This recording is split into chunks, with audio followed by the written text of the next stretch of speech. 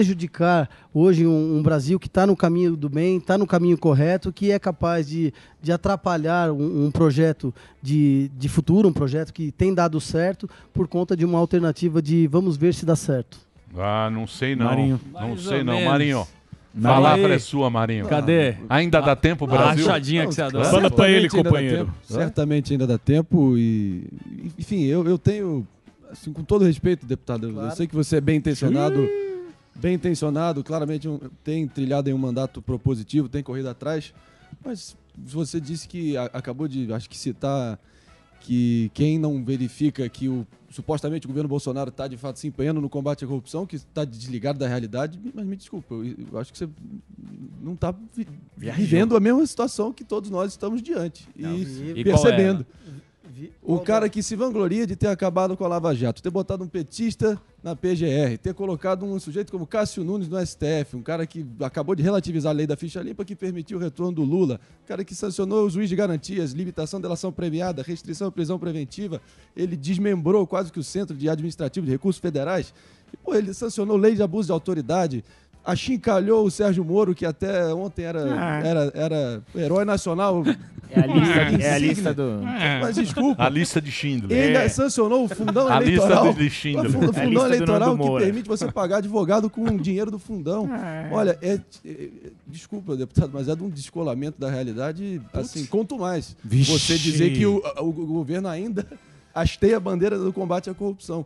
Fora to- tudo que depõe contra ele no, a nível pessoal e do entorno dele. Peraí, meu. Que está sendo desvendado. André, segura, André, segura um você- pouquinho aí, André, pô. André, Peraí, eu posso, eu André. posso seguir Peraí, aqui. André, deixa o Eu tô rapaz aí só me defender. começando. Peraí, porra. deixa Peraí, porra, deixa ele responder me defendendo aí, porra.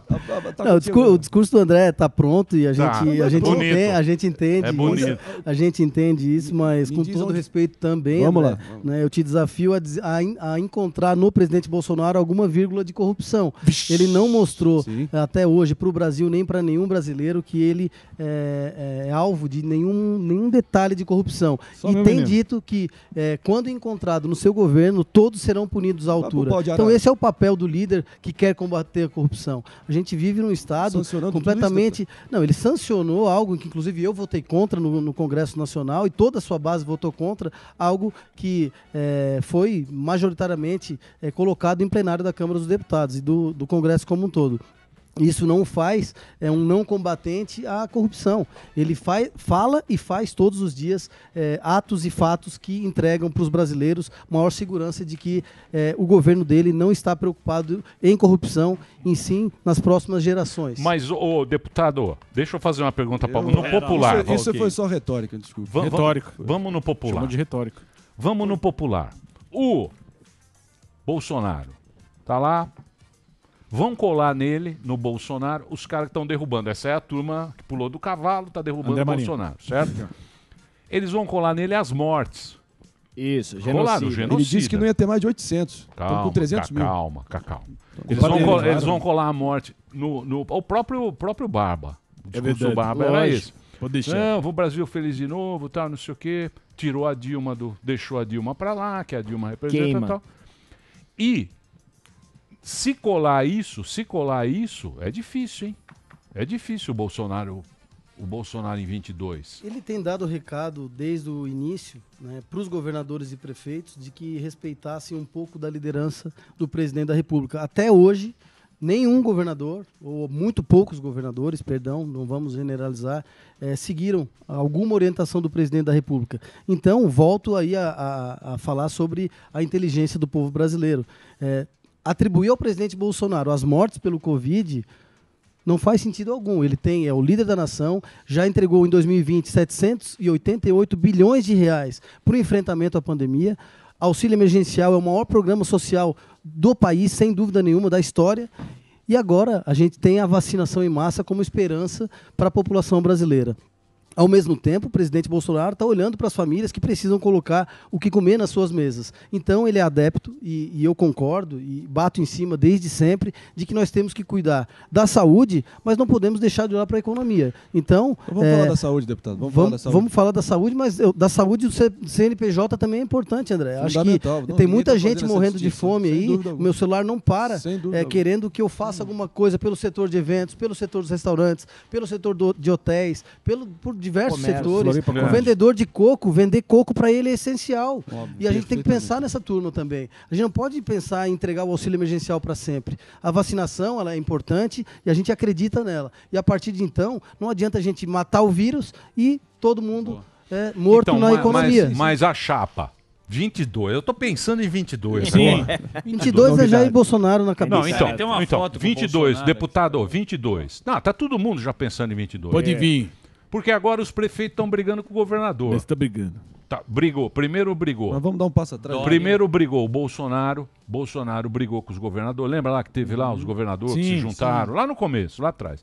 Brigaram, brigaram, fizeram um negócio, fizeram Show. esquema, show dos governadores e tal. Brigaram.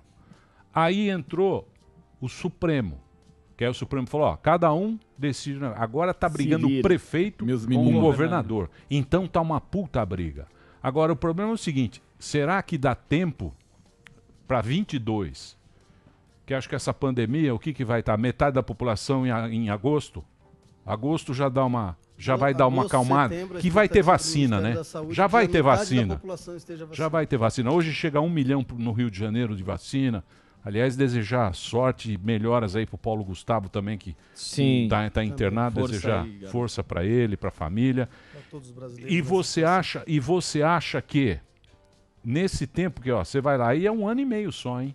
Pra vir um outsider? Não, Olha um só. ano e meio para arrumar tudo, Ah, ter um resultado bom, porque se não tiver resultado bom, acho vai que ser o Bolsonaro, achincalhado. Mas vamos, vamos, vamos acho trazer que um o papai pouquinho. volta. Mas vamos trazer já um tô- pouquinho para as eleições municipais. Quantos prefeitos não foram reeleitos? Eles estavam no- defendendo a pandemia, cuidando das suas cidades. Se trouxer isso para o Brasil, Bolsonaro está reeleito. Nós tivemos hoje campanhas no Brasil inteiro de prefeitos que estavam enfrentando a pandemia e no momento da pandemia crítico, que nós não tínhamos Mas ali muitas das tava coisas. caindo. Agora tá no, Agora tá no pulo. agora tá feio o negócio. E olha, E o Barba voltou é, no time. Mais um ano É. e meio. Vocês estão. É. É, o, É o timing. Sim, a fotografia. É. Como é que vai Naquela ser? O época Crivella lá, lá no Rio foi dizimado, pô. Apoiado Dá pelo pra presidente. saber também. É um exemplo poucos, só. poucos, Mas poucos prefeitos, André. pincelando. Se fizer uma pesquisa, vai ver que ma- a maioria dos prefeitos foram reeleitos É, mas no momento de, prefeito- de pandemia. Por exemplo, prefeito Cada é um é um cidade, caso. município mínimo que não quer dizer nada. Por exemplo, São Paulo foi reeleito com duras críticas, eu inclusive, sobre a gestão da, da pandemia. Ah, pelo menos, não sei quanto confiáveis são as pesquisas, mas mostra vários cenários Bolsonaro perdendo. Bolsonaro foi só o Lula aparecer, botou a máscara, ficou lá bonitinho. Se- Não, foi coincidência, então. Botou um globo lá- esférico na, na é, live também. botou o globo. Mas a pesquisa dava Haddad presidente da República também. Sim, eu não. Não é Você tá verdade. falando que mudou a postura? Não, eu dar falando vacina. assim, o que dá para esperar assim desse, desse ano e meio assim do eh, da agenda econômica, do próprio Bolsonaro, assim. Eu diria que como visão de mercado foi uma decepção, assim, as reformas não saíram ainda, teve a pandemia, não tô só e não acho que é culpa só do, do presidente, são vários fatores. Mas assim, o que dá para esperar? Um ano e meio de governo pela frente. É, Não tenho dúvida que se não fosse a pandemia, nós estaríamos num outro patamar, certamente, Flamengo. com todas as, as adversidades aí, nos trouxeram para essa realidade. É, as reformas vão nos colocar nesse caminho do crescimento. A reforma da Previdência foi um grande indicativo. Agora, a PEC emergencial, a grande porta de entrada para as próximas reformas. A gente trazendo esse equilíbrio fiscal para o Brasil, projetando o crescimento da economia, garantindo investimentos. Isso tudo faz nos crer que a gente já está colocando o país nos trilhos para não mais descarrilhar. Então, eu acredito sim que nos próximos